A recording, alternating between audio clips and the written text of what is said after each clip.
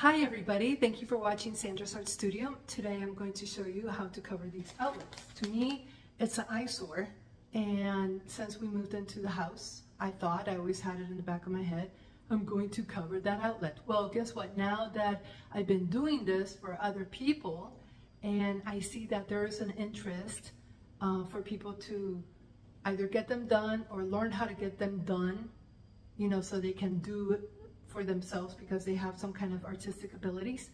So today is your lucky day. I'm going to show you how I do it. Alrighty, so I start off with a sheet cover, all right? And I actually split it because this is like a pocket sheet cover. And I split it and I just want the single piece.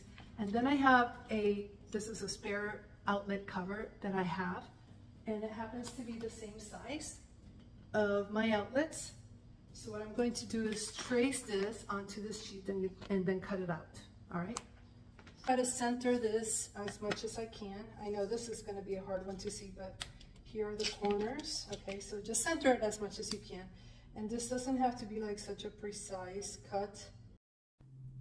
And I'm using a permanent marker for this on plastic. And then I take an X-Acto knife and I go on the inside lines because if I go on the outside line, then my stencil is going to be a little bit too big and I want it to be snug. If it happens to be a little bit too big, you can always use tape right in between your outlet and a plastic stencil that we just made. And I place that on the side and now I want to clean my outlet as best as I can. I use a soapy sponge and I'm focusing mostly on the center of my outlet don't worry about the edges at this point because later we'll be taking the outlet cover apart. So you want to clean it really good towards the center because this is still connected to electricity and it's easier with the cover, right? So once I cleaned it really good, I grab my sand block and I'm going to focus again in the center part of this outlet because it's easy that way. I don't have to worry about the edges because in a moment I'm taking that outlet apart, right?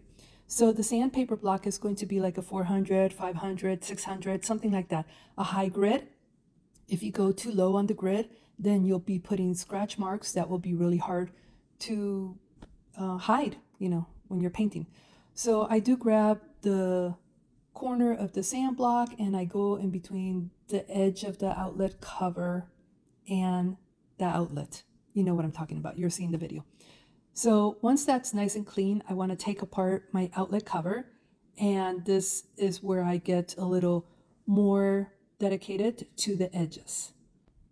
And by the way, just a quick reminder that if you have anything sharp laying around, make sure you put a cork on it or some kind of cover to protect yourself because it's so easy to forget that these sharp items are laying around and we don't want to have any accidents. So now that my outlet cover is off, I can just totally get those edges, the inner edges and the outer edges really good with the sandpaper. And it really doesn't take that much effort. It's just, you know, a little scuff and that's good enough because we wanted to have a little bite for the paint to stick. After assembling this outlet again, I'm going to get my material ready, which is just a little bit of water, some paintbrushes, and you can use a lot of your old paintbrushes too.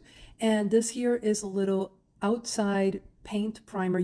Make sure your paint primer is a water-based paint primer because if it's oil and then you paint with acrylics, you're going to actually ruin your project. And here I'm grabbing just a little bit. I don't have to like overload my brush or anything.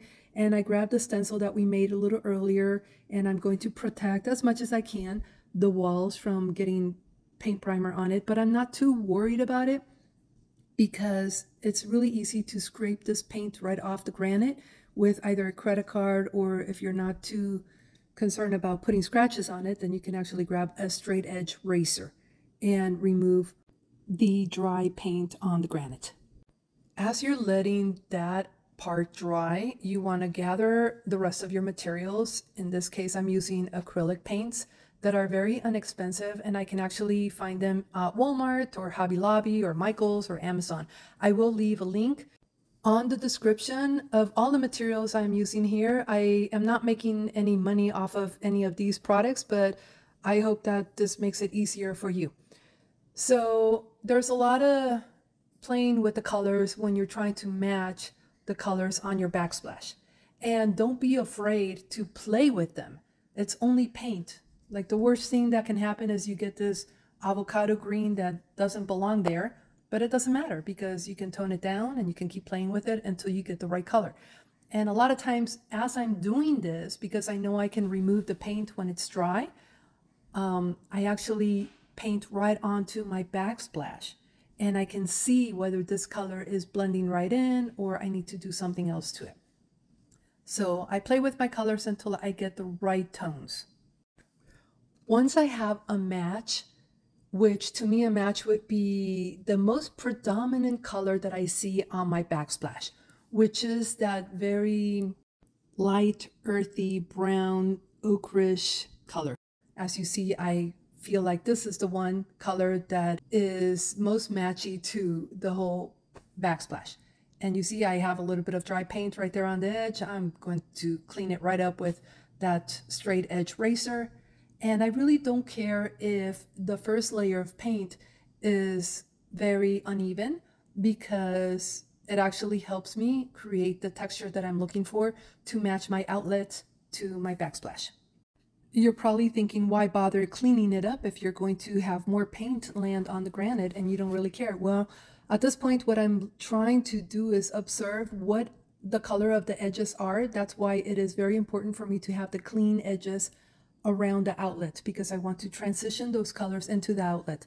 So the way I start doing this is here I have like a very old brush that's kind of like frayed out, but I love this brush for doing outlets because it helps me with, you know, texture. So here I work from the outside in. So if I see swirls, I try to mimic that. If I see that it's just chunks, I try to mimic that. And that is what it's all about, mimicking what you see on the immediate perimeters and trying to extend whatever it is that is right around the outlet into the outlet. So don't try to rush into this, especially if you're just starting. Don't try to rush into it. Don't think that, you know, you apply a couple of colors and you just don't see it yet because it takes like a little bit of layering and continue to go back and forth. And sometimes you have to make a little bit of correction on the colors. Here, I see that my darker colors, which is a black, and I mixed a little bit of brown, and I see how on the camera it looks a little bluish.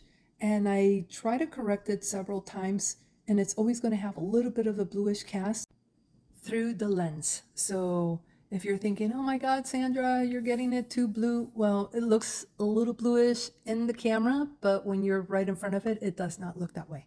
So I did correct it a little bit, but I still see it in the camera, not when I'm in front of the outlet with my naked eyes.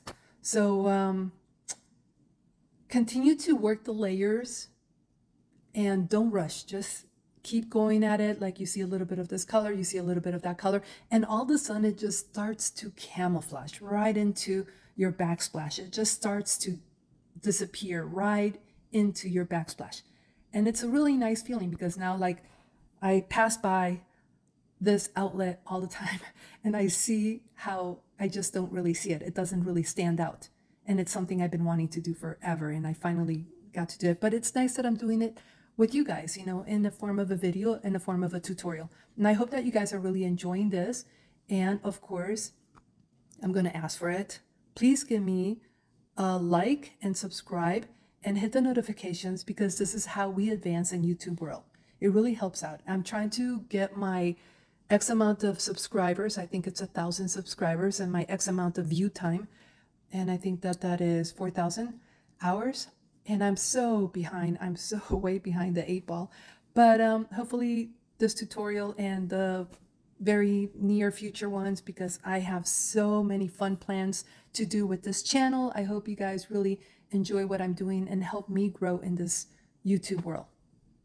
Another thing I like to do as I am painting these outlets is to actually stop for a moment and stand back and just stay there for, you know, a few seconds look at your backsplash and look at the outlet and see what colors are standing out. Does it blend in or, or is it very stand out-ish because of a certain color?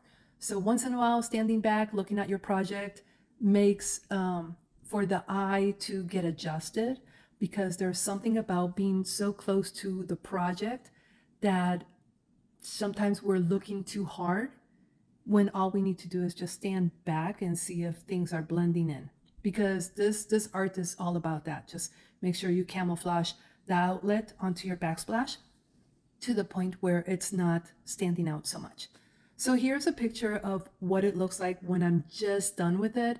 And I have the light um, change a little bit because I, I'm looking at it through the camera and I'm seeing how there are certain, you know, that blue cast that the black is giving. And I'm just wondering if it has something to do with the lighting. So that's why I changed it a little bit. And I went from this degree to that degree just to see if that blue cast, and it does, it stays there. So I'm just going to leave it alone. But there you have it pretty much.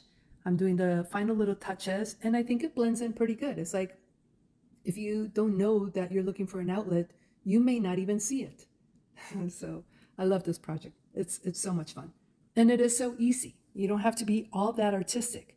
You know, you can actually just play with it and see what happens. And once you're happy with the results of your project, you want to just leave it alone for several minutes. I say a good 20 minutes or so. Acrylics dry fast, but you still want to give it like a good 20 minutes. I utilize that time for picking up my mess, organizing things, playing with my dogs. Here they are, wanting attention. Oh my God. They've been, you know, just playing with my feet and sitting on my feet this whole time and uh, they're just so funny. I love them. And once your outlet is completely dry, then you can focus on what you're going to use for clear coating it, right?